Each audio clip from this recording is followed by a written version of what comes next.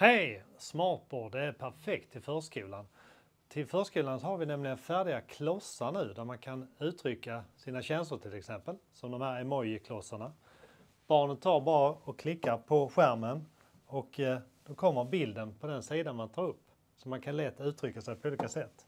Dessutom finns det med olika former på som man kan trycka.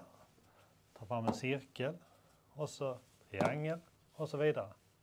Alla dessa kan flyttas runt och självklart så kan man ju skriva och rita på smartphone precis som vanligt. Med en röd penna här och en svart.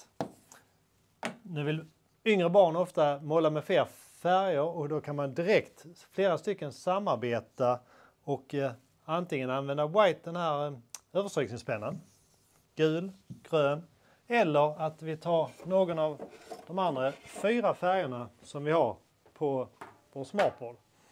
Och då kan flera stycken rita samtidigt om de vill.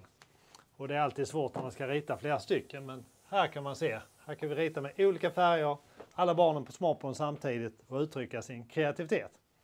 Smartboard 6000S finns i 65, 75 och 86 tum storlek och kan med fördel sättas på ett höj och sänkbart ergostativ så att man kan köra ner denna i golvet till de minsta barnen och höja den beroende på hur långa de är.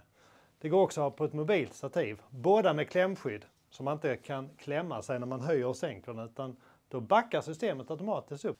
Så här funkar klämskyddet rent praktiskt. Vi har skärmen här. Jag lägger in min hand här under och trycker på knappen neråt. Den stoppar så fort den tar i handen och backar upp och stannar. Jag kan prova igen. Håller min hand, trycker neråt och den backar så man inte kan klämma sig. Smart! Från Ergo XS kommer stativen, finns både som mobila och vägghängda.